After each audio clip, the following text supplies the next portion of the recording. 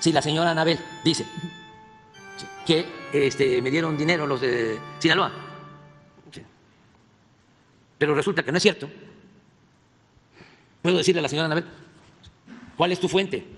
¿Cuáles son tus pruebas? Y la señora Anabel, pues no tiene pruebas y queda la señora Anabel como una calumniadora. Bueno, O pues, sea, sí, lo que ellas ponen son entrevistas, tengo entendido, presidente. Pero mire, eh, una cosa. Sí, pero el- el- el- ese periodismo es nefasto. En el sentido estricto ni se le puede llamar periodismo. Eso eh, es eh, inventar calumnias. Este, eh, si yo fuese... Periodista. No, no, no, no, no. Si fuese autoritario, ¿sí? siendo presidente. A ver, denuncia a Anabel o denuncia a Lorena Mola. Imagínate,